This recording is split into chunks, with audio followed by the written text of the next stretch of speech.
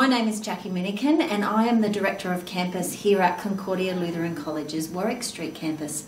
And this morning I have with me Mrs. Rowena Weier, who is our prep teacher here at Warwick Street campus. Morning, Ro. Good morning, Jackie.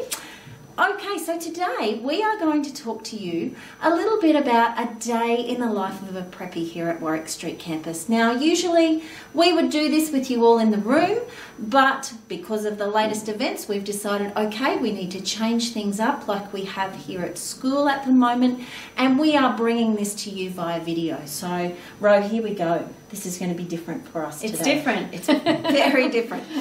Okay, so um, Ro, we've just seen in the video at the beginning of our session today um, a little bit from our prep classroom here at Warwick Street campus, and it looks a little bit different to other prep classrooms you might see when you travel around and you're looking for a school for your child. So tell me, why did you choose to set your classroom up like that? And it certainly is different, Jackie. Um, certainly different to what parents would have had when they went to school. Um, they certainly would have would not have seen a classroom like this.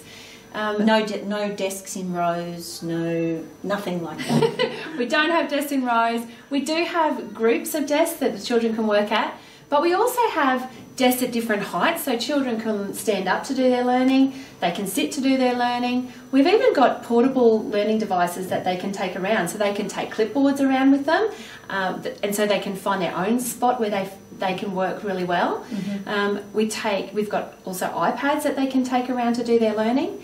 Yeah, so lots of hands-on things here in the classroom. And that's why we've set the room up like this. We've set it up so that it's a hands on working space. That's how the children learn the best. We want this room to be as fun, as engaging, as hands on as possible. So our room's set up for hands on activities.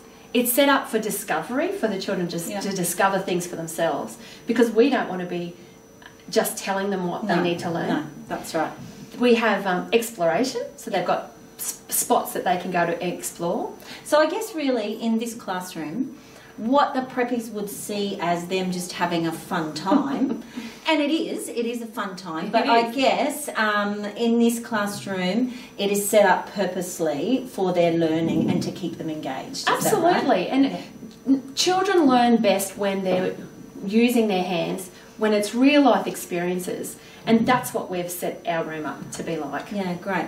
So um, I guess our students they've got to accomplish a lot in prep throughout their year, and it's a big year for when they come to school. It's a huge year, and it's it's a year where um, we don't want them simply just to cope with what's going on. We want them to thrive. Absolutely. We want them to have fun and do the absolute best that they can do. Absolutely, and feel comfortable in their learning environment, and feel like they're actually taking on the learning themselves. Yeah. Okay, Rose, so timetable. Preppies need a timetable. I know in the classroom they have a visual timetable They so do. they can see everything that's set out for the day. You have so much to cover within your time here at school with the preppies. How does what does your day look like as far as timetable? Great. Our day is is highly structured, and that's because the children love routine. They work best under routine. So our morning sessions are always started by a morning meeting, which we start with on the floor, and we have songs, devotion, Yeah. and then we start our literacy time, which is a really structured block in the morning. That's our biggest block too of the day, isn't it? It so is. we've our day at school is structured in those three blocks of morning, middle, and afternoon sessions. So our morning block, which is your literacy block, is the biggest session of the day. And they're ready to learn in the morning. They, Yeah. That's their freshest time. They come in and they, they get they're ready to learn. And we start by a full a full instruction on the floor. So they Yeah. all sit on the floor and we have an instruction time on the floor, which is a whole class instruction, where we do our new Initial Lit program, which we've had really great success with. Yeah, we've just brought that in in the last 12 months, and what we've seen so far has just been absolutely outstanding. Yeah. It's it's a great program, and I believe that this is the best way for our, our children to learn. But that is modelling, isn't it? That is sitting down on the carpet. It's a bit of an I do, we do, you do situation where the teacher needs to model and the students have to be ready to sit and learn. Absolutely, and they have to actively participate. Yes. They have to be able to be ready to give back to us so that we can see that learning happening. Yeah, yeah. So after we have our full time, full group learning on the floor, Yeah. then that's when we go back to our desks. Sometimes we'll do some worksheets that relate to that, but it might even just be a handwriting time as well. Yes. Even though we have lots of times that they have flexible places to sit and Yeah, do their yeah. learning, they still need to know how to sit up at their at desks, have that correct posture, and, Mm. And that core body strength. They really need that core strength to sit at a absolutely desk. so yeah. that they've got that great handwriting position. Yeah, and they because it, it's it's still a really big part of our Yeah. program. So there are times when they need to sit at the desk and Yes. do some learning, but within that literacy time, um, do they then get to move around a little bit too? Absolutely, and, and it, it's fun as well. Yeah. So after we do our desk time, then we have some time where we do literacy rotations, and that's the, the fun part of the morning where they get to use their hands. They have hands-on activities, so things like making letters out of Play-Doh. Play-Doh. Um, there's lots of fine motor activities in there as well, so lots of cutting and pasting, um, playing games as well. So we get to play lots of literacy games, and it's also our reading time. So one on um, small group Yes. reading times with Yeah. the teacher. So that's when we do that as well. Yeah, that's great. And I think too within your literacy block, and I know because I've been in with you doing the literacy Yeah. block, um, we're not having the students sit at one activity for a long period of time because they just don't stay engaged for that long. And that's important. Yeah, It- yeah. They can't sit for a long time, Mm. and so we're constantly getting up, doing brain breaks when we do our instruction on the floor, and then our literacy rotations go for twenty minutes. So Yeah. that's that's a good amount of time for us to get some Yeah. great instruction for our reading group, and also a great time to get into a game or. Plus, I think it's important for our parents to know that we do have that fruit break time in there Yes, as well in that morning session because we know that some of these little people get up really early in the morning, have their breakfast at maybe six thirty. Our morning tea time is at ten forty five. That is a long time for them to go without eating. So Yeah. that fruit break sort of sits in the middle. in the middle there. Yeah, yeah. it, but we, we are, we're up all the time, Yeah. up and at them and, and back on the floor or back into our activities. So we've got the literacy block in the morning. Then we have morning tea. Hmm. Straight after morning tea, we go into a maths, a numeracy block. Absolutely. So that's when we have a, a block of time for our maths. And it's the same sort of structure as our literacy. So we have a mini lesson on the floor, Yeah. and then the children get to go into groups where we do, again, we do it. Everything we do, we try to make it into a game or a hands-on activity. So it's really kinesthetic. It's Yes, um, yeah. using using the things around the classroom and also using real life materials. Yeah, yeah, yeah. And I guess too, um, not only getting the students in groups and moving around helps them be engaged in their learning, but playing games with each other. We still need to build on that social, emotional, that cooperating together. Sharing, Sharing, Taking turns. taking turns Yeah, is a big one because that takes a long time It to does. learn. so I guess that's really important too. Yeah. So we're building in a lot of skills Absolutely. um, into our day here at Prep. So, Ro, we've talked about the beginning of our day, well, half of our day in Prep, because we've got our literacy block in the morning and our numeracy block in the middle session. We have so many other subject areas to cover Yeah. because in Prep we do follow the foundation level of the Australian curriculum. So, there are subject areas like um, science. HASS, help me out if I miss one. Visual arts. Visual arts, Yeah. technology, Yeah. all of those things that we need to fit into a day here in Mm. prep as well as trying to continue that theme of keeping it fun and engaging. Absolutely. So, what does that look like here in your prep classroom? So the afternoons are designed to be a little less intense and, and not as focused. So after lunch, they, they're, the children They're are getting tired. They're getting tired. Yeah, yeah. So this is a time where we do have some quiet time. We don't have a rest No. as such, but we do have a quiet time Yeah. where they come in after play and we do have that, that bit of a break. Yeah. And then we have our investigation time, which is, is a really great fun time of the day. And I can see by the way you're looking, investigations is an exciting part of the day in prep. What do you do within your investigation? So it's it's all about incorporating all those things that you said and also that STEAM acronym, acronym Yeah. that we've heard so much about. So, so let's just let everyone know what the STEAM Absolutely. acronym is, which Yeah. I'm sure they've heard. It's Yeah. Science, technologies, Yes. engineering, Mhm.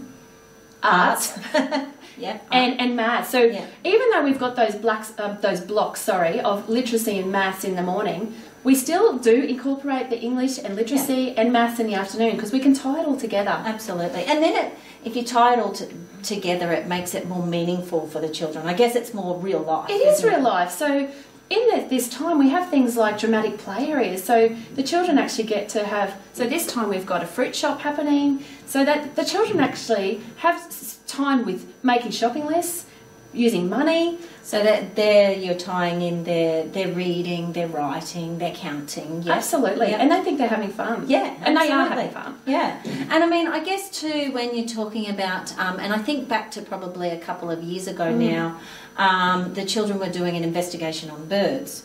So not only did they think that that was all about them and they came up with that investigation, but really, I guess that's a part of their science uh, unit as well that you're able to tie into that. That I can put into that. Yeah. So someone bought a book in yeah, about birds because they their mums and dads had it at home. Yeah. And they really wanted to. So we we had a great investigation time. Yeah. Not everyone was interested in that, but that was okay. So we had a group of children who was interested in that, while others did did other things. Yeah. And I think one of the biggest things that we need to remember is that children don't all learn the same things at the same time. at the That's same right. time. So that is a big thing. And I guess in prep, um, they're still so little, and they're they're probably probably a bit egocentric, which is which is a good thing. Yeah, they're into absolutely. themselves and Yeah. what they want to learn about, so we can harness that within your investigations. Absolutely. Yeah. So some other things that we do are we do science investigations, so we uh, and experiments, and the children love doing things like that. yeah. We do technology, so um, we use the iPads during I, that I guess um, the technology too isn't just the digital technology where they're using iPads because they're very good at that when they come to school, but it's also that design element of technology and looking at how things work and designing something. and making things so even in the just in the construction area the things that they they can build and so we might set them up with a stem challenge so they might have to build a bridge. Um, so one of the things that we did last year was build a bridge for the three Little pigs. oh no, Billy Goat. Billy Goat. Sorry, You've got the wrong I've fairy got the wrong one. Mrs. Uh, Minnikin. yeah. So they actually have to design it, they draw it, design it, and then they get to build it. Okay, bro. So um, we've talked about a day in prep. We've talked about literacy, numeracy blocks. We've talked about investigations. Now, something that we haven't spoken about, and um, I would like to really briefly, is our bush prep program. Now, we're passionate about We are. outdoor learning here at, at Concordia, not just here at Warwick Street campus, but right through to Stephen Street campus. So, tell us a little bit about our bush prep program and why you why do you do bush Why, prep? why we do it? Uh, learning outside and learning outdoors is, is such a great Yeah, well, it's something that doesn't happen much anymore, does it? It doesn't, and I think that's why we want to embrace it as much as we Yeah. can. And what we do is we actually travel over to Stephen Street. So the children walk. So I guess when we point that way, I've got. it's a bit hard to see here, but We're when we point that way um, across South Street to our uh, our senior campus, Stephen Street campus, so just across the road. We have a little bush area over Yeah. there. Yeah. And it's an area that we can explore in, we can play in, we can look at all the things that we love to find in nature that children love to find. We find worms, we find bugs, we find all sorts of And I guess crawlies. what what do you do with them? So so I guess you go over there, and yes, there's time for them to explore, create, problem solve. But is there also an opportunity for them to learn, like bring their learning outside? Absolutely, and again, we still t- try to take our literacy and maths as far as we can. So Yeah. we, we like to take it over to bush prep as Yeah. well. So we'll often do stories that link to nature. So a story that we've done is wombat stew that we love yeah. taking over there, and the children love finding things to make and put into wombat stew. And it's a love for literacy, a love for nature, putting it all together. Yeah. And again, just our preppies thinking they're just having a jolly old time, but they're really learning the, the And- whole time. And the learning over there is incredible. The uh, the persistence that you see Yeah. when they're trying to complete a challenge over there, the resilience that you Yeah. see when they're trying to just even just trying to climb a log that Yeah, they see. and, and I've seen that. I was over there once and I saw what it would take for a student that we would probably think would be really easy just to build up the courage to Absolutely. climb up and walk along that log. So the risk taking Yeah. that we as as Adults probably Adults. did all the time. all the time, and now we put these restrictions on our children because Yeah, it's the world we live in, It isn't it? is. It's it's us living in a world where there's perceived um, safety issues, and we've got busy parents who, of course, we've been through that. We're busy parents, and you don't have as much time to working kids- parents. So when they, by the time they get back from from out of school, they they lose and after school activities. Yeah. we lose that outside playtime. So that's something that we still love Yes. to include into our curriculum. Yes. Now, just a question. Um, do you spend all day at prep? Do you uh, at bush, Bush prep, prep? Sorry, um, you spend all day at prep. do you spend all day at bush prep, or just a little chunk of time? What does that look like? So over the over the course of the year, we spend probably we get to greater chunks of time. Yeah. So we might spend just some time going over for an hour, and then by the end of the end of the year, we we spend like a session in there, and that the children love it. I guess what's really fun too is we have buddies here at um, at Warwick Street campus, and our year sixes are often buddies Yeah. with the preppies. And I know previously the year sixes have loved getting over to bush prep with their buddies. They do, and the Yeah. things that they can start making with the the preppies is incredible. So they. We, we have a really awesome time and we actually can take our investigation things over there, our STEAM and our STEM challenges. We had a challenge over there at the end of last year with our year six buddies and we had to make streams out of bamboo and they had to I think put the water yes, through. Oh, yes, it I was amazing. It- Yeah. It, was really great and fun. again, the rich learning that happens in those, I guess, spontaneous situations in some respect. Yeah. Um, like you said earlier, we do have to guide them in a lot of things so that we are covering what we need to, but it's still really important for those spontaneous um, times of learning to occur. So, Absolutely. bush prep is very exciting. So, Ro, I think we've covered it all today. I hope so. We have. We've covered everything, and um, thank you everyone for taking a bit of a look at Warwick Street Prep with us. And hopefully, we hope to see you all very soon face to face. So, thanks for joining us, and we look forward to inviting you into our prep classroom soon. Absolutely. Thank you. Thanks, Ro.